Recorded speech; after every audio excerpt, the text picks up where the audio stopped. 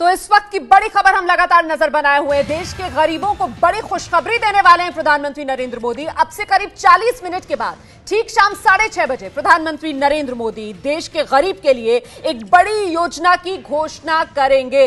लेकिन अब इंतज़ार इस बात का है कि आखिरकार इस योजना में क्या हो सकता है। हम सीधे आपको लिए चलते हैं। मेरे साथ राजकिशोर और विकास भदौरिया इस वक्त मौजूद हैं। रुक रुक करते हैं हम राजकिशोर का। राजकिशोर, कुछ पता चल पा रहा है। क्या हो सकता है इस योजना में?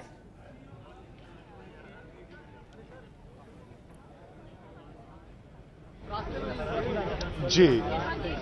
जी रोमाना, ये सौभाग्य योजना होगी जिसको वो लॉन्च करने जा रहे हैं और इसमें बिजली, शिक्षा और तमाम चीज़ें, लेकिन इस विषय में ज़्यादा जानकारी के साथ हमारे साथ हमारे सहयोगी विकास भदौरिया हैं, जिन्होंने इस कार्यकारिणी की सबसे पहले कवरेज अपने दर्शकों तक पहुंचाई। विकास, क्या जानकारी आ रही है? देखिए, प्रधानमंत्री की एक बेहद महत्वाकांक्षी योजना है और ऐसा गरीब तबका जो जिसकी जद से बाहर है, हर घर बिजली पहुँचाने की गाँव गाँव बिजली पहुँचाने की योजना है सरकार की। लेकिन ऐसा तबका जो बिजली खरीदने में भी अक्षम है, वो ऐसे तबके के लिए हर घर बिजली पहुँचाने की सरकार की इसकी योजना है, साथ ही साथ हर घर शिक्षित हों लोग इसकी योजना है और इसके लिए खास तौर पर कुछ स्टाइफंड जैसी व्यवस्था भी सरकार की तरफ़ से की जाएगी। हालाँकि वाकई में इस योजना का स्वरूप क्या होगा, ये जब प्रधानमंत्री साढ़े छह बजे इसका उद्घाटन करेंगे तभी पता चलेगा लेकिन जो सौभाग्य नाम रखा गया है वो इस योजना के जो विभिन्न हिस्से हैं उनके जो इनिशियल हैं शुरुआती शब्द हैं उनसे जोड़कर ये सौभाग्य शब्द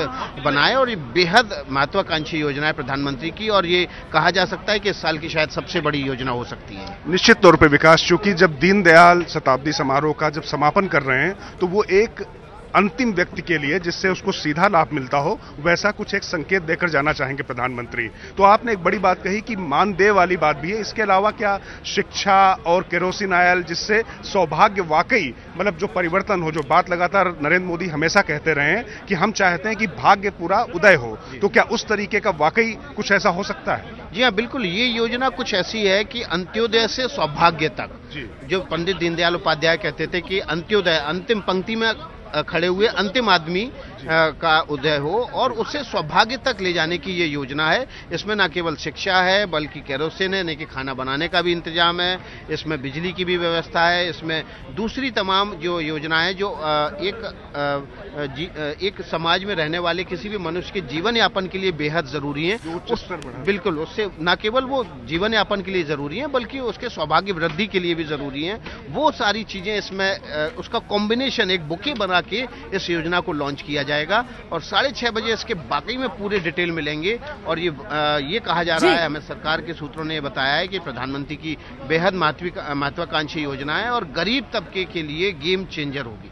तो विकास जी आप आप रहिए हमारे साथ राजकिशोर विकास भदौरिया बड़ी जानकारी यहाँ पर विकास भदौरिया दे रहे हैं। ये सौभाग्य योजना होगी। जी हाँ हम सबसे पहले एबीपी न्यूज़ पर आपको इस योजना का नाम बता रहे हैं। ये सौभाग्य योजना होगी सहज योजना हर घर योजना। और देखिए अंत्योदय से सौभाग्य तक सहज बिजली हर घर योजना है ये, सौभाग्य योजना है ये, गरीब की तकदीर बदलने वाली ये योजना है और कैसे ये योजना काम करेगी, जानने के लिए हम सीधे रुक करते हैं। एबीपी न्यूज़ संवाददाता शिशिर सेना इस वक्त हमारे साथ मौजूद है। शिशिर? देखिए रमोना, इस पे जो खर्च है वो सोलह हज़ार तीन सौ बीस करोड़ रुपए का है और कोशिश ये है कि गाँव और शहर दोनों में जहाँ जहाँ पे बिजली का कनेक्शन नहीं है, वो पहुँचाया जाए।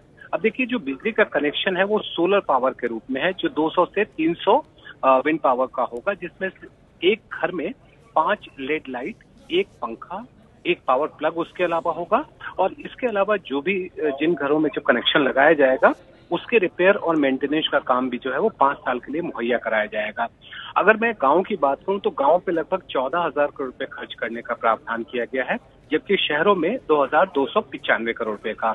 अब ये सवाल उठ सकता है कि शहरों में इतना कम क्यों है? क्योंकि शहरों में बिजली की पहुँच काफ़ी हद तक है, जबकि गाँव में काफ़ी ज़्यादा नहीं हो पाई है। इसी वजह से ये गाँव पर खर्च है। जो योजना का पूरा खाका है वो साढ़े छह बजे प्रधानमंत्री खुद इसका ऐलान करेंगे। और उसके बाद देर शाम में जो बिजली मंत्री हैं आर के सिंह वो इसके बारे में और विस्तार से जानकारी देंगे। लेकिन अभी जो स्थिति है उसके मुताबिक सोलह हज़ार से ज़्यादा सोलह हज़ार करोड़ से ज़्यादा की ये योजना है।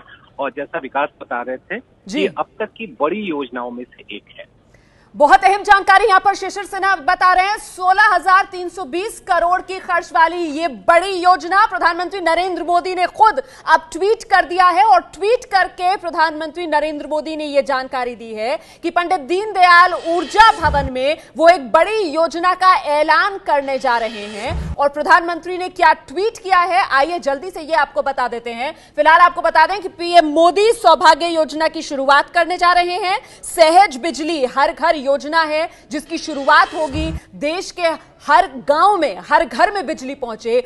गरीब की देश की तकदीर बदले ये महत्वाकांक्षी योजना प्रधानमंत्री नरेंद्र मोदी की। कुल बजट इस योजना का 16,320 करोड़ का है। हर घर बिजली पहुँचाने की यह बड़ी योजना है। सौभाग्य योजना जिसका उद्घाटन प्रधानमंत्री नरेंद्र मोदी करेंगे, जिसका ऐलान प्रधानमंत्री नरेंद्र मोदी करेंगे, अब से कुछ ही देर बाद, करीब 35 मिनट का इंतज़ार और रह गया है। हालाँकि खुद प्रधानमंत्री नरेंद्र मोदी अब ट्वीट कर इस बारे में जानकारी भी दे रहे हैं। हम सीधे रुक करते हैं। न्यूज़ रूम से इस वक्त अभिसार हमारे साथ मौजूद है। अभिसार, जरा दिखाइए दर्शकों को वो ट्वीट।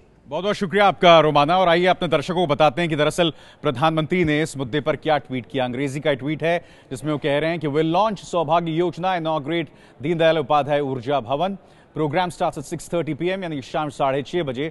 और उसकी जो विवरण है, वो इसमें है। क्या क्या है इसमें? Access to electricity to all willing household यानी कि सभी घरों को बिजली सब्सटीट्यूशन टू केरोसिन केरोसिन का विकल्प इंप्रूवमेंट इन एजुकेशनल सर्विसेज़ शिक्षा में बेहतरी स्वास्थ्य सेवाओं में बेहतरी संचार व्यवस्था में बेहतरी इसके अलावा जन सुरक्षा में बेहतरी की बात कर रहे हैं और बेहतर जो है जॉब अपॉर्चुनिटीज़ तो ये तमाम बातों का ज़िक्र किया है तो काफ़ी हद तक पर्दा एक तरह से उठा दिया है प्रधानमंत्री नरेंद्र मोदी ने साढ़े छह बजे जो वो घोषणा करने वाले हैं रोमाना जी बिल्कुल तो दीनदयाल ऊर्जा भवन में शाम साढ़े छह बजे मतलब अब से करीब तैतीस मिनट के बाद प्रधानमंत्री नरेंद्र मोदी सौभाग्य योजना की घोषणा करने वाले हैं। ये है एबीपी न्यूज़ आपको रखे आगे।